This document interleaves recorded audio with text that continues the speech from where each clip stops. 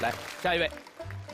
蔡老师好，王院长好。呃，我叫张悦，来自北京。今天听了王院长的这个讲授，我突然对我以前非常喜欢的一组诗有了一个全新的理解。就是唐代上官婉儿有一系列诗，叫《游长宁公主留杯池二十五首》。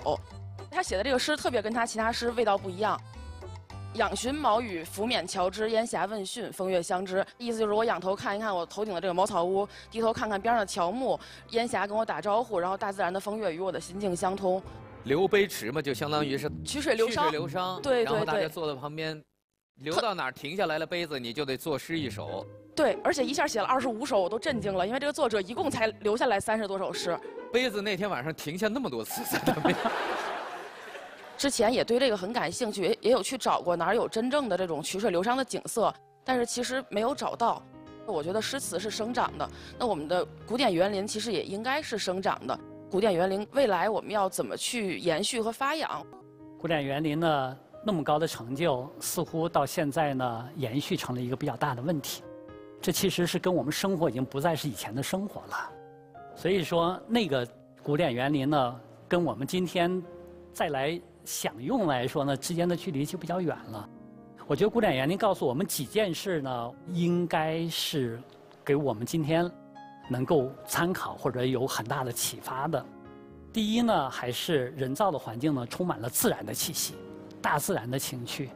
第二呢，古典园林是一个系统，相互之间呢是不分离的，山水、植物、建筑、家庭是融在一起的。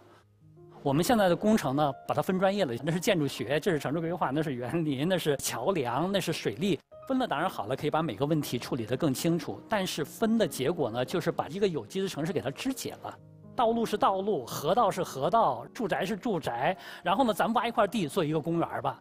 以前不是这样子，以前大家全是融在一起的。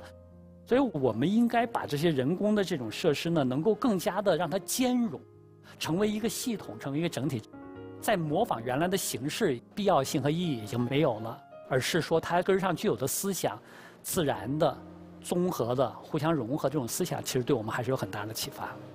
还是回到原来的主题，就是在我们的城市之中，营建于适合于我们今天人的生活的环境，让他们在工作之余，在面对压力的时候呢，能够放松自己、放松心情，也能够使得我们城市更加健康。这可能是我们今天人要做的工作。